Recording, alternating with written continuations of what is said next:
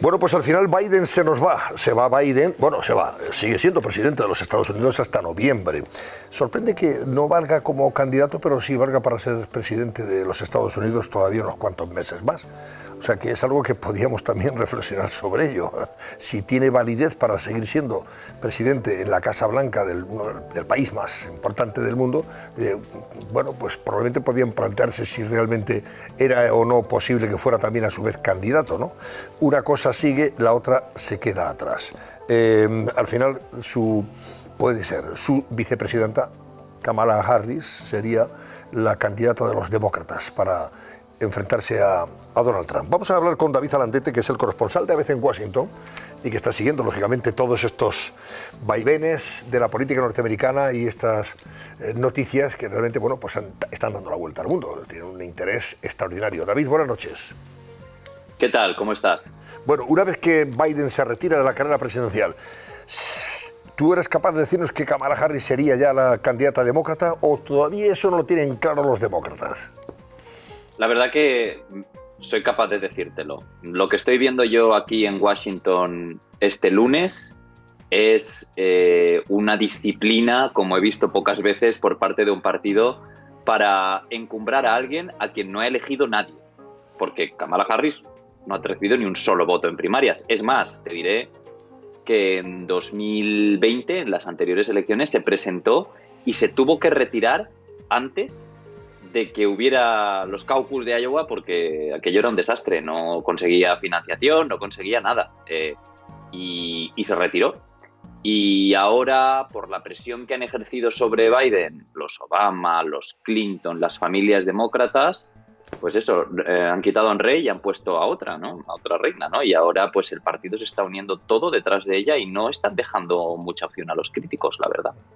¿Cómo es eh, Kamala Harris? Eh, eh, nos llega que es una persona aparentemente distante, soberbia, de difícil trato. No sé si eso se corresponde con la realidad o es una persona que, bueno, tiene un, además de ser, hombre, lógicamente, la vicepresidenta de los Estados Unidos, de una formación segura y acreditada, y por otro lado no tan seca como aparentemente dicen que es. A mí me gustaría poder contarte cómo es, pero te puedo decir que no la he visto mucho porque no es que se haya prodigado mucho. Ha estado muy ausente de la primera fila política. La verdad que también ha tenido unos trabajos difíciles. Yo creo que no, no le hizo ningún favor Joe Biden, nada más llegó en encargarle la gestión de la crisis de la frontera, que es como que te encarguen, no sé, convertir el agua en oro.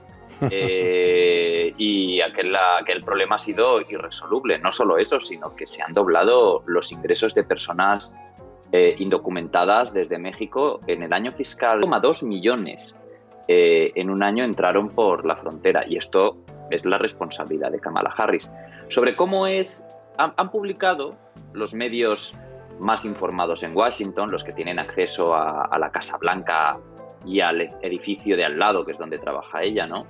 Eh, que un dato, y ese dato yo creo que es bastante interesante.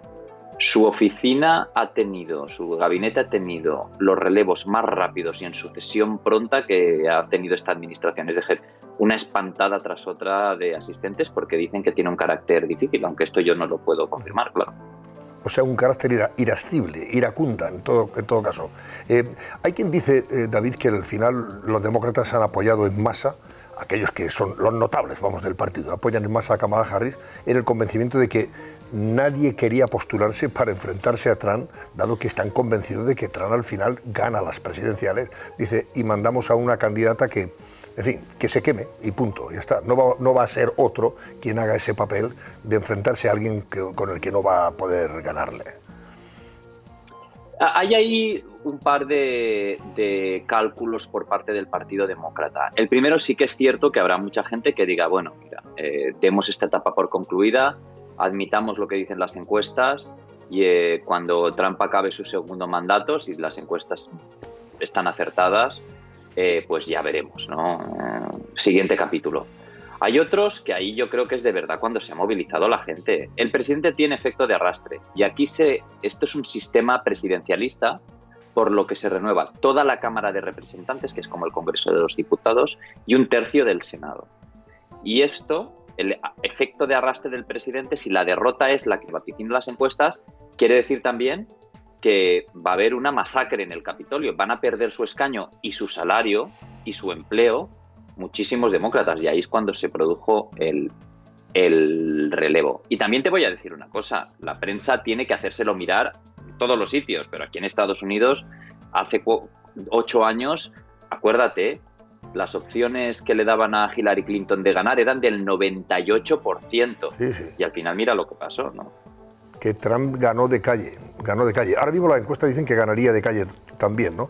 Sea quien sea quien se enfrente en el Partido Demócrata. Porque debe por delante de Biden. Harris no Harris no es una político popular eh, y sobre todo aquí lo que cuenta es eh, los estados clave. Y en, por ejemplo, en Ohio, eh, Trump va 10 puntos por delante, que se dice pronto, ¿no? 10 puntos. Y, y, California es el estado de Kamala Harris, no es que los demócratas tengan problemas ganando allí. Donde hay que ganar es en Michigan, es en Pensilvania. y claro, ahí yo voy a un argumento de Biden, ¿no? Que es que él decía, a ver, yo nací en Pensilvania, yo me llevo bien con los sindicatos. Yo he sido un presidente, el, presidente más sindicalista de esa.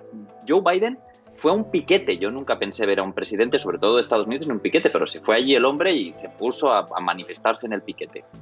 Eh, yo veo difícil que Kamala Harris, no, no por su perfil demográfico, porque sea lo, que sea, ¿no?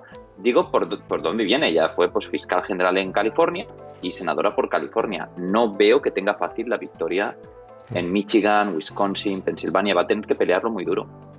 David, sobre el atentado de, Trump, hoy hemos visto cómo la jefa del Servicio Secreto de los Estados Unidos ha admitido, ha admitido que el fracaso operativo fue tan significativo como que es el más significativo en décadas, o sea que no se había producido un, en fin, un fracaso y un error tan grave en décadas ¿no? en Estados Unidos de desprotección a un candidato aspirante a la presidencia de los Estados Unidos.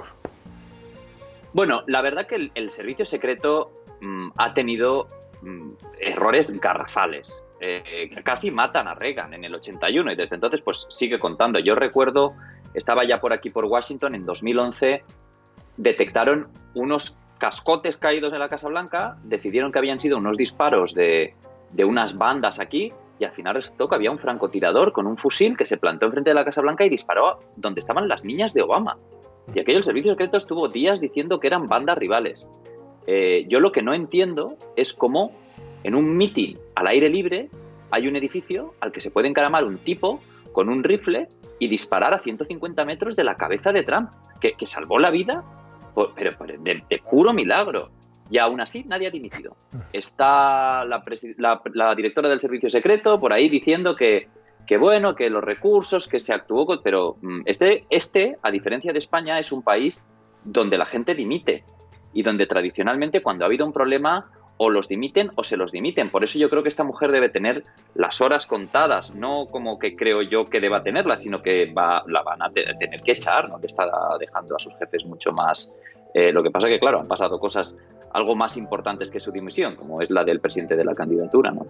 ¿Cómo ha reaccionado Trump a la previsible candidatura de, de Kamala, bueno, previsible y casi segura, ¿no? Eh, candidatura demócrata de Kamala Harris?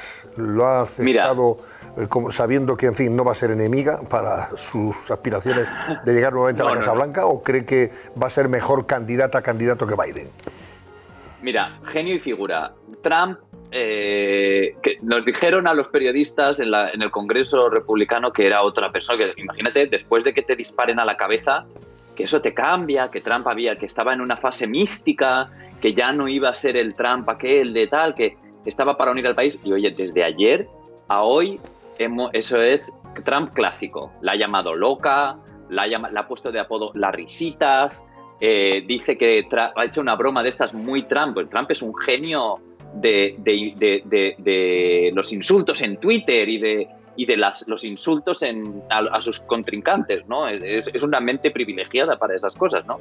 Entonces ponía una broma ayer que era, mañana cuando Joe Biden se despierte y se dé cuenta de que no de que le han forzado la mano dirá que él sigue siendo presidente y a ver qué vamos a hacer no eso es ese es el Trump no y hoy ya estaba diciendo que, que todo esto es ilegal y demás ha vuelto a las andadas no a un tono y a un estilo de hacer política que es muy populista eh, y que, digamos, eh, va a seguir vivo en esta campaña como está vivo desde 2016, ¿no? Y yo, Trump ha vuelto a ser Trump y ahora va a seguir dándole muy duro a Kamala, ese es su estilo, yo creo que no puede evitarlo, es, es así, es su naturaleza, eh, y esto de un Trump místico y, y, sabio y que ya no va, se duró un día. Aparte del problema que tiene Kamala Harris es que, según la encuesta, es bastante desconocida ¿no? a nivel popular. Ha sido vicepresidenta de Estados Unidos, pero no tiene ese nivel de popularidad que tenía, lógicamente, Biden o el propio Trump. ¿no? Ahora remontar eso en meses no sé si será casi imposible. E, es un caso curioso el de Kamala Harris, porque a, mí hay algo que me llama bastante la atención, ¿no? que es algo también muy, muy americano en el sentido de que aquí la política también es un negocio y tienes a una serie de asistentes que te corrigen la, imagen, que te, que te... Entonces, Kamala Harris ha sido todo. Ha sido la de más izquierda del Capitolio cuando era senadora, la, la demócrata más a la derecha cuando era fiscal general de California y metió a cientos de personas en la cárcel a ganar las elecciones. Se moverá donde se tenga que mover eh, y donde pueda hacerle daño a, Trump, que yo creo que en este momento es en tres grupos, ¿no? Recuperar el voto de los negros, que se estaba yendo de, de Biden, que había muchos varones, hombres negros que no estaban apoyando a Biden. Recuperar el voto de las mujeres, que Trump lo ha estado perdiendo y por último, tratar de ganarse el voto de los jóvenes, ¿no? de los más jóvenes. Estoy hablando de gente que pueda votar en esta elección. Bueno, pues una cosa más, David, te, pregunto, al margen de la carrera a la presidencia de Estados Unidos nuevamente, en noviembre saldremos de dudas, eh, ¿cómo eh, se valora allí la prensa norteamericana? ¿Comenta o no comenta lo de Sánchez y su mujer Begoña Gómez? Hoy, como hemos dicho, y saben nuestros espectadores, ya ha sido llamado a declarar por el juez eh, como testigo en relación con el asunto que investiga de su, de su esposa. Nada, nada. O sea, aquí entre Trump que le dispararon a la cara y, y Biden dimitiendo, mm, o sea, somos lo último de lo último a considerar. Sí que te diré que yo tuve la oportunidad de acompañar al presidente del gobierno en su paso por aquí, por la cumbre de la OTAN, eh, y me sorprendió bastante eh, lo, escribí en el ABC sin pena ni gloria. Vino con un plan para que todo el mundo se uniera a un reconocimiento de la causa palestina comparándola con Ucrania y fue un bochorno, sinceramente. O sea, lo trajo, lo dijo en todas las reuniones, nadie se le sumó y una cosa que a mí como corresponsal y periodista en el extranjero me pareció bastante llamativa es que el mismo día que Biden con 81 años en estado bastante deteriorado hizo ese mismo día una rueda de prensa de más de una hora Sánchez se hizo montar una parafernalia similar a la de donde estaba Biden para responder a tres preguntas durante nueve minutos de reloj. Por supuesto, a mí no me dejaron preguntar,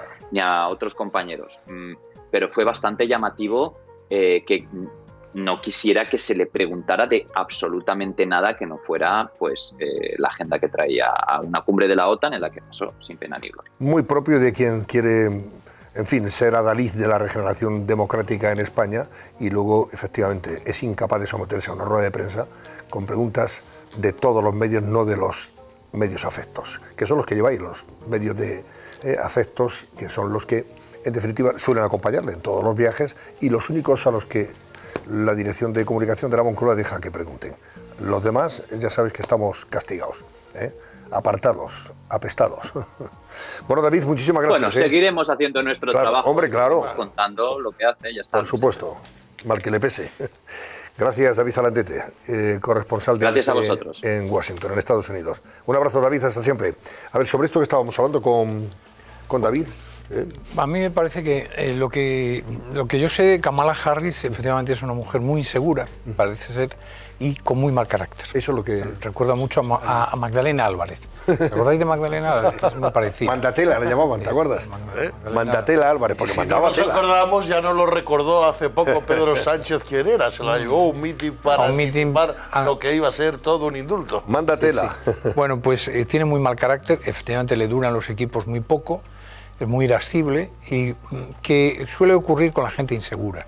Cuando y yo creo que, es probable que ya ahora mismo el Partido Demócrata esté dando, no voy a decir que esté dando por perdidas las elecciones, pero desde luego, si no, si no hay un proceso en una convención que es muy de, los norteamericanos para elegir una alternativa a Kamala Harris, eh, ella va a ser la candidata y yo creo, creo, ojo, eh, es mujer, es negra y es de y, India, tiene, tiene esas, esa doble procedencia. Y es decir, que tenía todos los componentes para en la, en la América de la, del etnicismo y de la identidad eh, para triunfar. Pero mm, todos los expertos dicen que en estos momentos, eh, incluso las encuestas, le dan una victoria todavía superior a Donald Trump sobre Kamala Harris, es decir, superior a la que le daban, le otorgaban sobre, sobre Biden. Sí, sí ha sorprendido en las primeras horas algo que los aquí no se hace, ¿no? pero que los norteamericanos lo, lo contabilizan mucho, que es eh, cómo marchan las donaciones. ¿no? Y es verdad que Kamala Harris ha sorprendido en ese sentido porque en sus primeras horas ya digamos que como candidata, no oficial, pero, pero como candidata demócrata, pues creo que ha conseguido, han sido 45 millones eh, de dólares, que se dice pronto, pero además, ojo, eh, 45 millones de donantes pequeñitos, quiere decir, ¿qué traducción hacen ellos? Bueno, pues oye, eh, quiere decir, mucho votante, mucho votante demócrata parece que, está de acuerdo con, con, la elección de ella. Eh, yo creo que, aunque hasta el día 19 de agosto, creo que es, ¿no? que es el, el día firme de la elección para los demócratas en la convención, hay margen, yo creo que esto ya no tiene marcha atrás, ¿no? Pero es que eh, ese es el problema de los tótem del Partido Demócrata en, este caso, ¿no? Que es que parece que han tenido que esperar al debate electoral, al peor debate que cualquier candidato haya hecho en la historia de los debates televisados, y vienen desde Kennedy, tú fíjate si ha llovido, ¿no? Para tomar una decisión como esta. Vamos a ver, es decir, eh, Biden no se nos ha hecho mayor de la noche a la mañana. Biden llegó ya muy mayor a la presidencia de los Estados Unidos al punto que se especuló que la que ahora va a ser candidata, Kamala Harris, llegaba como una mujer para sustituirle a él poco más o menos que en medio del mandato, ¿no? Y, lanzarla así para, para ser la primera presidenta de, los Estados Unidos. Ahora llorar sobre la leche derramada de poco sirve.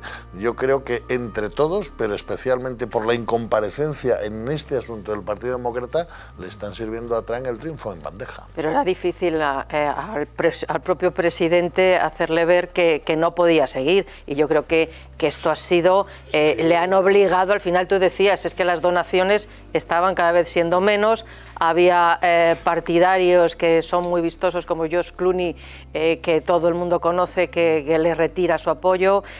ahora nos comentaba David que, que Nancy Pelosi ahora sí que apoya, pero era una de las mm, fuertes en el partido que, que apostaba por esas mini, mini primarias, que yo creo que es muy complicado, precisamente por lo que también comentaba Antonio, que quién se pone ahora a encabezar la lista. Yo creo que dirán, a lo mejor sí que hay más candidatos a vicepresidente para luego saltar en las próximas en las próximas elecciones o que también vamos a ver ahora se está dando por, por gran triunfador a Donald Trump pero las cosas también Donald Trump, seamos, seamos también un poquito optimistas y que esto pueda a lo mejor estar más equilibrado cuando ya decidan quién es ese candidato. Donald Trump en esta ocasión lo que sí ha tenido es algo que a mí me parece muy muy interesante que es el vicepresidente. El candidato a la vicepresidencia Vance eh, es un, un chico joven de, eh, y que... Eh, un contrapunto, ¿no? Sí. No, por eso, joven, con una trayectoria, con una infancia muy difícil, eh, que es un poco dentro de, no del sueño americano, pero desde luego dentro de la cultura americana, de un hombre que supera unas enormes dificultades de infancia y juventud, que escribe un libro sobre eso, que gana mucho dinero y que llega a la política ya con su economía resuelta y, que es un tipo francamente interesante. Es cierto que además fue muy crítico con Trump en las anteriores eh, ocasiones, decía que con Trump no ganaría el Partido Republicano, pero ahí, una vez más, Trump ha demostrado que bajo esa apariencia de botarate también tiene decisiones muy inteligentes. Hacer el ticket con ese perfil de un, de un, hombre de las características de Vance me parece muy, muy interesante. Ya veréis, ya veréis como Vance, si llega a ser, si llega a ganar las elecciones, Vance dará mucho juego en la política americana. Ya habrá influido en la retirada el dejarle como presidente, o sea, ya decirle no vas a ser candidato y encima tampoco vas a terminar la, la, legislatura como presidente, pues a lo mejor han llegado a ese, a ese acuerdo con Joe Biden, que no tenía ninguna intención de irse.